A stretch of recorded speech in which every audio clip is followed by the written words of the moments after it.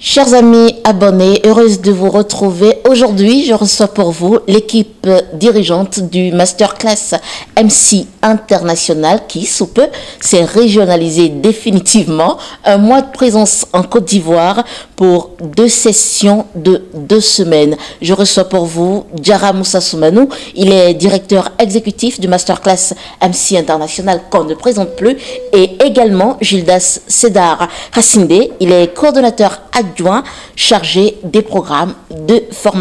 Nous allons parler du séjour en Côte d'Ivoire. Ils nous feront le compte rendu. Est-ce que les objectifs ont été atteints ou pas et quelles sont les perspectives? Mesdames, Messieurs, bienvenue dans cet entretien.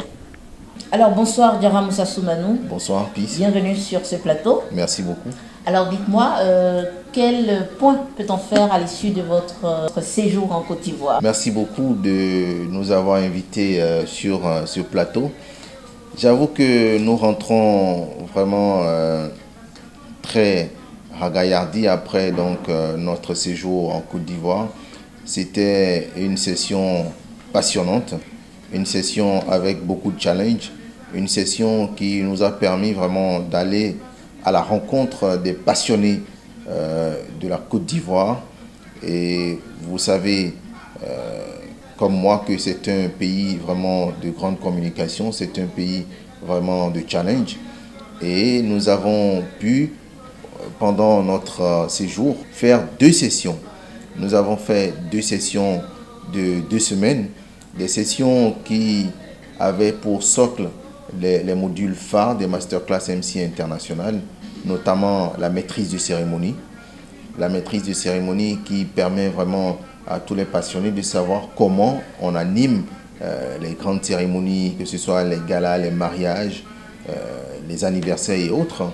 La modération de conférences, le leadership féminin, l'oratoire, le protocole, euh, l'écriture discursive, le marketing politique, le discours politique et bien d'autres euh, module que nous avons pu vraiment enseigner aux passionnés vraiment de, la Côte d'Ivoire. Ce que nous, nous, retenons de cette aventure, c'est qu'il y avait vraiment, euh, d'abord le défi était là, et il y avait vraiment une attente énorme au niveau des jeunes et également des professionnels qui vraiment suivaient les masterclass MC International à travers les réseaux sociaux, que ce soit Facebook, Instagram, YouTube, LinkedIn.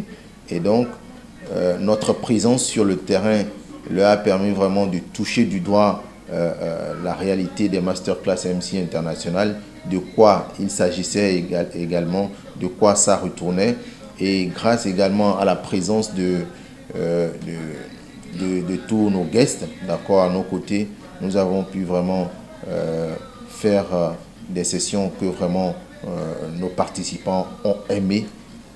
Comme d'habitude, ils n'avaient pas envie que euh, cette session se termine. Est-ce que euh, dans la qualité des participants, est-ce qu'il est y a une préférence entre le public béninois et le public ivoirien?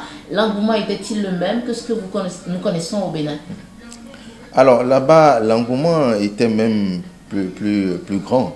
L'engouement était plus grand en ce sens que eux, ils n'avaient pas tous l'information, d'accord, selon laquelle on...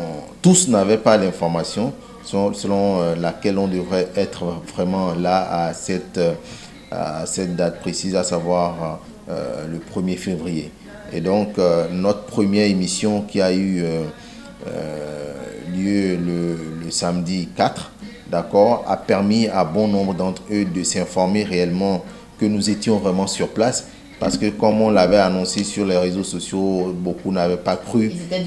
Voilà, et donc, euh, comme ils ont eu euh, la confirmation à travers notre présence sur euh, Radio Nostalgie, ils n'ont pas hésité à prendre contact avec nous à travers nos, canaux et nos, contacts directs. Parfait. Alors, euh, Gildas Seda Raciné, je, viens à vous. Vous êtes coordonnateur adjoint chargé des programmes de formation. Dites-moi, ce séjour en Côte d'Ivoire, est-ce que les objectifs ont été atteints? D'abord, s'il y a un autre adjectif pour qualifier ce séjour en Côte d'Ivoire, pour exprimer d'abord la, la joie, pour exprimer la joie et l'ambiance qui, avait autour, c'est que je ne ferai pas euh, je n'hésiterai point à utiliser cette expression. C'est juste pour dire que c'était un séjour très bien qu'on a passé en, Côte d'Ivoire. L'engouement y était, les objectifs euh, sont très bien atteints. Nous avons fait un pas vers l'avant. Nous sommes des entrepreneurs, comme vous le savez, donc euh, ce voyage nous a permis de, de voir les opportunités que ce pays nous offrait pour notre projet. Et grâce à ce voyage, on s'est rendu compte que c'est un projet bien portant, un projet bien porteur que nous, que nous tenons. Et donc ça nous motive à aller encore plus de l'avant avec. Alors parlons avec vous des, des, différents partenariats qui se sont noués sur le terrain et tout, des partenaires également à saluer après, euh, à la fin de ce séjour. Oui. Alors déjà, euh, Trace, euh, Trace, Trace Radio Abidjan n'a pas hésité à, à, accepter un partenariat avec nous dans les prochains jours. Euh, D'abord sur le territoire, ils nous ont témoigné de leur hospitalité, la sympathie, donc, euh, on a bénéficié de, de, leur, de leur soutien pour la communication sur leurs émissions. Nous avons également eu la chance de, de rencontrer Assalfo, le président de Magie System, qui également n'a pas manqué de nous, de nous témoigner son assistance. D'ailleurs, même, il sera au Bénin prochainement. Et donc, en dehors de, nous avons eu le soutien de Go Africa. Go Africa qui est, euh, qui est un site ils sont, ils sont plus basés dans la, dans la communication digitale. Bien sûr. Et donc, euh, eux également nous ont accepté à bras ouverts pour nous aider dans notre euh, communication très prochainement. En dehors de Go Africa, nous avons eu également Rida Fawaz, Rida Fawaz, le grand styliste, qui, non seulement son domaine de stylisme est un wedding planner, donc, euh, vu notre module assez sur le protocole événementiel, lui, il a tellement apprécié la détermination, l'engouement de cette jeune équipe qui vient du Bénin. Depuis le Bénin, il a, il a bien précisé pour la Côte d'Ivoire, histoire d'exporter leur art. Qu'il n'hésite pas, pas du tout, à nous accompagner dans, cette, euh, dans ce projet. Et donc, euh, on a eu Rida Fawaz. Euh, je dirais Vibe Radio également. Exactement. Vibe Radio également nous accepte. Qui s'est positionné, euh, Vibe Radio qui s'est positionné pour être vraiment un grand partenaire ah, pour la prochaine euh, session. Vraiment, ils ont été très intéressés par, par les masterclass MC international parce qu'ils ont voulu réellement que leurs auditeurs qui, qui sont constitués en majorité de jeunes puissent réellement profiter de cette formation euh, qui est vraiment innovante. L'autre élément que je voudrais ajouter et qui est très important, c'est ce partenariat qu'on a eu avec les, les, écoles, les universités, les instituts de formation. Parce que, voyez-vous, euh, là-bas, les, les, universités et les universités et les instituts ont été très intéressés par la prise de parole en public et l'oratoire. Parce qu'ils ont estimé que leurs étudiants sont amenés à être les futurs cadres de demain et forcément ils seront euh, appelés à prendre la parole en public, ils seront appelés à soutenir leur mémoire de fin de formation, que ce soit en licence, en master ou tout ce que vous voulez. Et également, ils seront amenés à, faire des entretiens quand ils voudront entrer dans les entreprises, forcément, pour être recrutés. Et également pour défendre leur projet devant les, les, potentiels bailleurs, devant ceux qui peuvent leur apporter le financement. Il faut qu'ils aient vraiment une maîtrise euh, de, de, la parole.